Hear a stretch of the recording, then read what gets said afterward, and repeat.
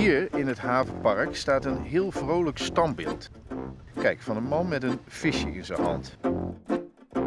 En hier zie je ook twee vissen. Dit is Job Baster. Hij zou de goudvis in Nederland hebben geïntroduceerd en ze hebben gekweekt. En nog mooier, zijn goudvissen konden kunstjes.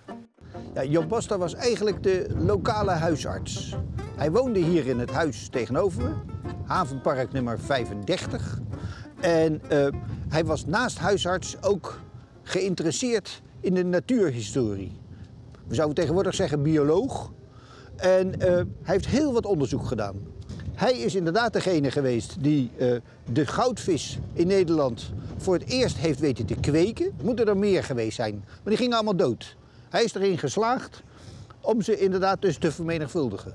En konden die vissen nou kunstjes? Nou ja, je kan je natuurlijk voorstellen dat wanneer die beestjes gevoerd worden, dat ze dan uh, aan de oppervlakte van het water komen, misschien er wel net even uit. Maar dolfijnen zullen het niet geweest zijn. Dus ja, er zit een stukje romantiek in dit, dit hele gebeuren. Feiten zijn het niet, want kijk maar naar de tegenwoordige goudvissen, die kunnen ook geen kunstjes. We weten wel dat hij gekke dingen met zich heeft gedaan. Bijvoorbeeld ze in de koekenpan gegooid om te kijken of ze eetbaar waren. Nou, dat was geen succes. Hij is ook de man geweest die hier verderop in het water een nog niet eerder ontdekte slaggensoort uh, boven water heeft gehaald en uh, beschreven, uh, bekendgemaakt voor de wereld. Zo gaat het ook met een plantensoort, ook nog niet eerder ontdekt, heeft zijn naam gekregen. En jullie hebben nog iets bijzonders van Job Baster in het museum. Ja, we hebben een heel bijzonder schelpenkabinet van Job Baster in het museum. Hij verzamelde schelpen en heeft daar zelf een hele grote kastdeur van gemaakt. Die heeft hij bij overlijden geschonken aan het Zeeuws Genootschap. En wij hebben dat bij de inrichting van het museum hebben we dat te leen gekregen. Nationaal erfgoed, we proberen er zo goed mogelijk voor te zorgen. Wat ik nog veel leuker vind, is jullie de plek te laten zien waar Job zijn onderzoek heeft gedaan in het water. Hier vlak buiten de stad, daar gaan we nu naartoe.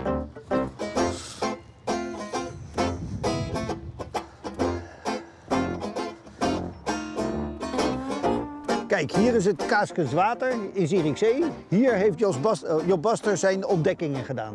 Onder andere dat drijfhoornslakje. Uh, hij heeft er ook plantjes uitgehaald. Die heeft hij beschreven, daar heeft hij mee over gecorrespondeerd. Uh, dit is, was zijn onderzoeksterrein. Maar dat slakje, dat was wel bijzonder, toch? Ja, dat was bijzonder. was nog nooit eerder ontdekt. En daar heeft hij over gecorrespondeerd. Heeft hij aan zijn collega-onderzoekers... de 18e eeuw is de tijd van de encyclopedieën... van het verzamelen van kennis...